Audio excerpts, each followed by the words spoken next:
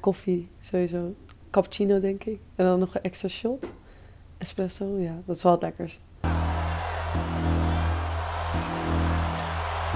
Nee, nee, ik woon eh, lekker bij mijn ouders, dus alles wordt nog gewoon geregeld. En ja, maar ik doe wel gewoon veel hoor. Ik kook ook nog wel thuis, dus ik eh, woon niet echt in een hotel. Want ik heb denk tot de beetjes eh, bij de jongens gevoetbald.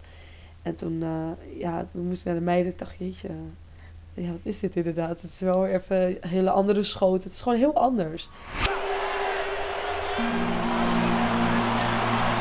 Nou, ik wil gewoon wel de beste worden, maar ik ben nooit iemand geweest van, nou, ik wil echt dat worden of zo, weet je. Dus ik heb wel gewoon, ik denk, ik wil de beste worden, maar zolang ik het leuk vind ook. Dus ik heb gewoon, ik vond het leuk dat ik dacht, nou, ik ga ook maar keepen, want ik denk dat ik daar het beste in kan zijn. En toen dacht ik, nou.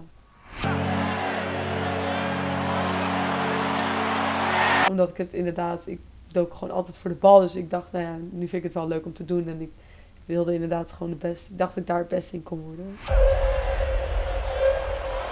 Maar ja, eigenlijk geen idee. Ik werd gewoon neergezet en merkte dat ik het wel kon. Dus zo is het eigenlijk gekomen.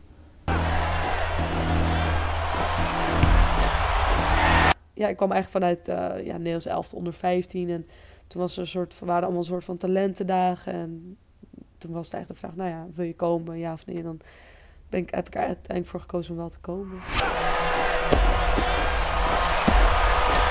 Ja, nou, ik weet nog wel, de eerste keer dat ik er kwam was ik best wel een beetje zenuwachtig. Zo, telkens als ik daar dan bij voor de toekomst kwam, dan had ik een soort van, een beetje zo'n druk of zo.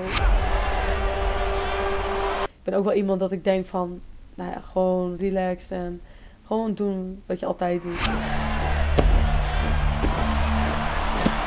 Eigenlijk is dat dan droom, toch wel ergens een droom van me geweest. Als ik dan ergens mocht voetballen, dan wilde ik wel bij Ajax voetballen.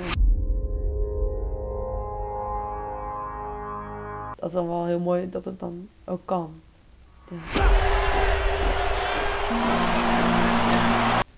Dus ja, zeker. Ik werk er echt hard voor. En ik heb er ook wel hard voor gewerkt om hier te komen.